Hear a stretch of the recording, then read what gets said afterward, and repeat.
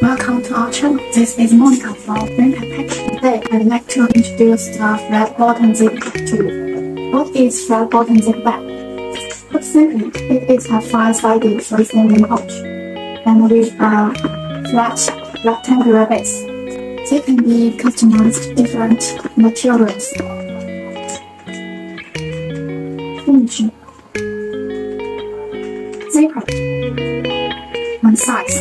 Nylon bag with glossy finish and with heat seal zipper. This one used is tin tie. Kraft paper with tear off zipper. Kraft paper with normal zipper. So if you want to customize your flat bottom zipper bag, welcome to contact us. See you next